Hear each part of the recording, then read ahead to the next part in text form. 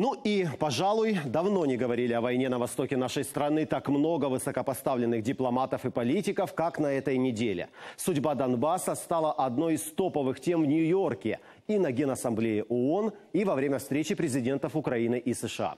Главный аспект, конечно, возможность отправки на Донбасс миротворческой миссии ООН. Удалось ли Петру Порошенко приблизить финальное и позитивное для нашей страны решение по миротворцам, знает Дмитрий Анопченко.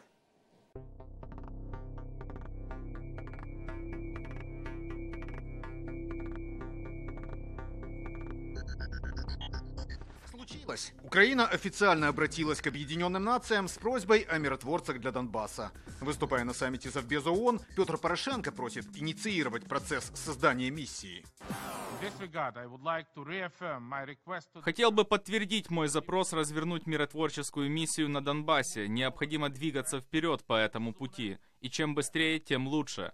В то же время путь к эффективному миротворчеству и, возможно, урегулированию пролегает через безусловный вывод всех иностранных военных, наемников, их вооружения и оборудования из Украины.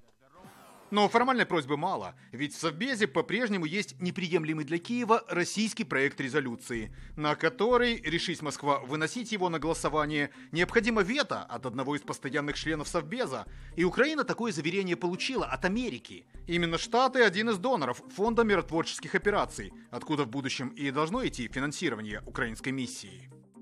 Американские дипломаты неформально признаются по множеству вопросов внешней политики. Кто бы что ни говорил, они ждут отмашки одного только человека. Ждут, пока выскажется лично президент, лично Дональд Трамп. А в украинском вопросе ему пока было все-таки немного не до того, учитывая ситуацию в Северной Корее. Вот почему на переговорах с хозяином Белого дома у украинской команды не было программы «Минимум» или программы «Максимум». Стояла четкая задача, задача номер один – получить ответ от Трампа. И он прозвучал.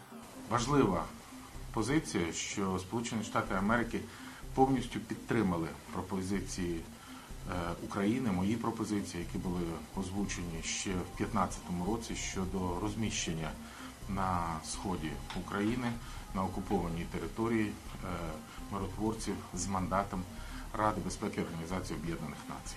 Я підкреслюю і наголошую української позиції, яка передбачає мандат на всю окуповану територію на сході України, включаючи неконтрольовану ділянку Україно-російського кордону, яка виключить можливість проникнення російських військ, російського озброєння, російської амуніції і справді буде слугувати справі миру. А еще разговор с Трампом был о реформах и о бизнесе, для которого, по словам Петра Порошенко, Украина сейчас максимально открыта. Товарооборот в два с половиной раза вырос.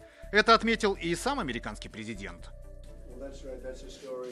Это правда, это история, о которой пока мало говорят, но, думаю, вы и сами все чаще и чаще видите. Компании очень серьезно нацелены сейчас на Украину. Они видят огромный потенциал. Вы там позаботьтесь о них, ладно? Не преувеличил ли Трамп и не выдают ли в Киеве желаемое за действительное? В ходе этого визита была возможность спросить у самих представителей крупного американского бизнеса. Uh, Мы действительно ценим то, что президент Порошенко встречается с инвесторами США. Мы занимаемся сельским хозяйством, и Украина для нас очень важна. Мы готовы работать в направлении роста экономики вашей страны. Мы не первый год работаем с украинскими железными дорогами и надеемся, что в ближайшем будущем наши поезда будут ездить в Украине, а ваши усовершенствованы при помощи наших технологий. Но деньги любят тишину. Бизнесу нужна еще и стабильность в стране. А для нее как раз необходима помощь ООН. Решение о миротворцах. Организация Объединенных Наций с ее бюрократическими процедурами – тот еще Мадридский двор. При любом другом раскладе можно было попытаться вносить правки в проект резолюции, но не в случае с Россией. Вариант создать компромиссный проект резолюции на основе украинской и российской тоже не пройдет, поэтому план может быть и таким. Генсек ООН своим решением посылает на Донбасс так называемую оценочную миссию, а на основании ее выводов третья страна и вносит абсолютно новую резолюцию, у которой будут все шансы пройти совбез.